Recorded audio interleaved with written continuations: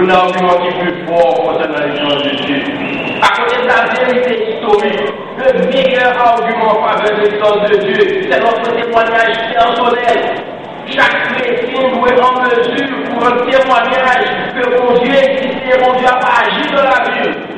Le jour mon Dieu, par exemple, a dit oui, existe. Ça fait exister parce que nous rencontrons toujours. Oui, mon Dieu, c'est parce que vous parlez avec. Oui, mon Dieu, c'est parce qu'il agit dans la vie. Oui, mon Dieu, c'est l'homme. Mon Dieu, à partir de notre témoignage, est un sauveur. Chers jeunes, frères et sœurs, oui, besoin ici, après dire Seigneur, je te loue de ce que je suis une créature si merveilleuse. C'est d'abord une affirmation de l'existence de Dieu. On dit, bon Dieu, je suis une créature, la créature de Dieu. C'est aussi une affirmation que Dieu est le créateur de l'univers. Non seulement Dieu, il le créateur de l'univers. Vous allez certainement faire face à des théories qui vont chercher expliquer, expliquer l'origine de l'univers, l'origine de la vie dans le monde en mettant Dieu de côté. Vous allez chercher toute façon avec des théories de Darwin et l'autre monsieur qui a conseillé la théorie de l'évolution. Vous allez chercher toute façon pour expliquer l'origine de la vie sans. On pas expliquer l'origine de la vie valablement l'homme de côté. Parce que la Bible explique que c'est Dieu qui est la source de la vie. Il est le créateur de l'univers. Dit, faites-vous de ce que je suis une créature. Tu existes et nous t'a créé. Mais finalement, je suis dit de ce que je suis une créature si merveilleuse. Et c'est avec ça que ça va fini avec moi après Vous êtes une créature merveilleuse. Pas seulement vos Dieu exister, pas seulement vos créatures, mon Dieu, mais sont créatures merveilleuses. Vous sont créatures extraordinaires. En plus, fois, nous avons tendance pour nous dégrader pour tête nous. En plus, fois, nous avons tendance pour nous porter pas rien. Nous sommes pas des bagailles, nous sommes créatures, mon Dieu. En plus de ça, nous sommes équipes, mon Dieu, nous sommes merveilleux encore. Nous sommes extraordinaires. Nous devons reconnaître que nous précieux, nous précieux parce que mon Dieu crée nous, seulement crée nous, mais mon Dieu mettez-nous dans un merveilleux pour notre vie. Si vous êtes vous que nous sommes créatures merveilleuses. Sous nos créatures merveilleuses, pas de marcher dans la vie avec la tête basse. Son créature merveilleuse, marcher avec la tête haute. Faites honneur à votre créateur, faites honneur à Dieu. Son créature merveilleuse, pas dégrader tes tout, pas activer tes tout. Qu'il jeune dégrader tes dans des activités dégradantes, addictions, telles que l'immoralité, l'immoralité la corruption, qu'il bagaille qui dérangeait l'esprit monde, pensée monde. Sur son créature merveilleuse, et l'esprit propre. Jean-Paul dit 4, verset 2, tout ce qui est vrai, tout ce qui est honorable, tout ce qui est pur, tout ce qui est vertueux et digne de louange, soit l'objet de vos pensées. Évitez les souillures de cette société parce que sont créatures merveilleuses.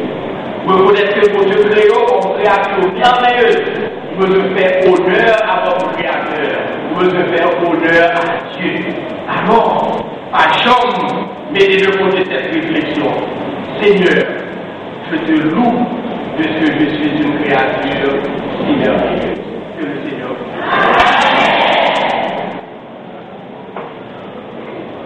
Et par le Saint-Esprit, nous sommes capables de garder les bons défauts de la parole entendue et maintenant nous demander à Coral Abraham pour capable d'exécuter pour nous, alors que nous demandons à nos frères et sœurs et à l'ANJ accueil pour qu'ils soient capables de recueillir pour nous les offrandes de l'Assemblée.